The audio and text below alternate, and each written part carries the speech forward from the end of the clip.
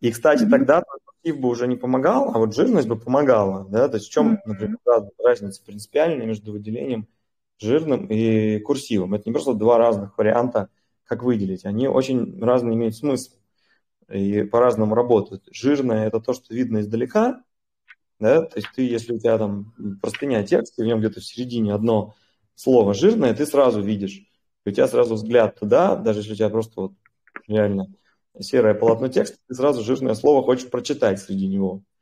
И это ну, в каких-то случаях помогает, если ты именно этого эффекта и хочешь, а в каких-то мешает. А курсив, он наоборот, он нейтральный, он такого же веса, как весь текст остальной, соответственно, его заранее не видно, он не выделяется, но когда до него дочитали, ты его неизбежно видишь.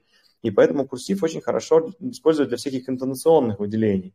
Типа ты вот читаешь текст, ты уже дочитала, и ты хочешь какое-то конкретное слово выделить, прямо сказать, что это именно то слово, которое я имела в виду, или я его хочу там в каком-то особом смысле тут дать, или вот как-то ну, выделить, не знаю, что иронию какую-то подчеркнуть, что угодно. Но пока ты до сюда не дочитал, ты не должен вообще про это думать. Вот здесь для заголовков, конечно, нужно э, жирный mm-hmm. использовать. Вот, но это мы, мы с вами все про оформление. Давайте два слова еще про смысл.